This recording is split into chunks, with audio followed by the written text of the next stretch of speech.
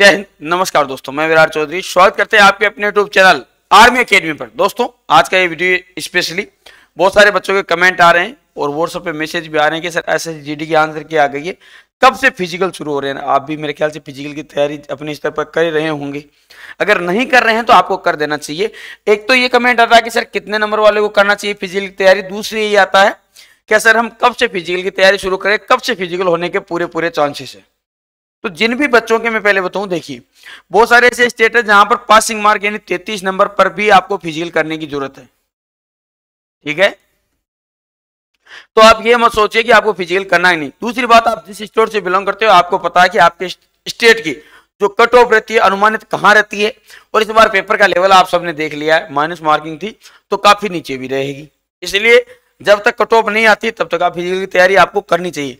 लेकिन अगर आपके अच्छे नंबर है हंड्रेड परसेंट आपको लगता है कि आप एक वैलिड या अच्छा स्कोर करते हैं तो आपको फ़िज़िकल तैयारी करनी चाहिए, क्योंकि फ़िज़िकल इस बार आपको बताऊँ, जैसे ही नॉर्मलाइजेशन के साथ में कट ऑफ़ आएगी वैसे ही आपके फ़िज़िकल शुरू होंगे। अब कट ऑफ़ आने के कब चांस है, साथ में एक चीज़ और बता दो लाडो कि अगर आप फिजिकली तैयारी घर पर नहीं कर पा रहे हैं तो आप हमारे अकेडमी आ सकते हैं। अकेडमी के लिए इस नंबर पर कॉल कर सकते हैं nine five triple eight one zero six zero eight पर ठीक है, इस नंबर पे आप कॉल करिए और अकेडमी आ सकते हैं लाडनो ठीक है? अब कट ऑफ़ कब तक आएगी और फ़िज़िकल कब से शुरू होंगे? लाडनो में बता दूँ आपको कि जैसे कि आपको मैंने बताया था कि दिसंबर के अंतिम माह में या अंतिम वीक तक आपकी आंसर क्या आ जाएगी? वो आ गई है। जनवरी स्टार्टिंग में, यानी जनवरी एक से लेकर पंद्रह तक आपकी कट ऑफ़ आ सकती है।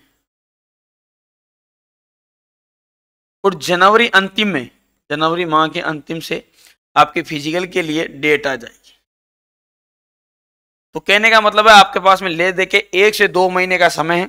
अगर आपको फ़िज़िकल की तैयारी करनी है तो अभी से शुरू करनी पड़ेगी, नहीं तो बाद में आप नहीं कर पाओगे। बहुत सारे बच्चे जिनका वज़न ज़्यादा है तो वज़न का आपको ओवर वेट मिल जाएगा बेटा तो फिर बाद में लेके घूमोगे।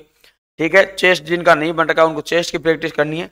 ऐसी परेशानियों का आपको सामना करना पड़ेगा। इससे अच्छा है कि अभी से आप फ़िज़िकल की तैयारी शुरू कर दीजिए लाडना ठीक है, क्योंकि जनवरी अंतिम तक आपके फ़िज़िकल की डेटें आ जाएगी लाड़ जय हिंद, जय भारत।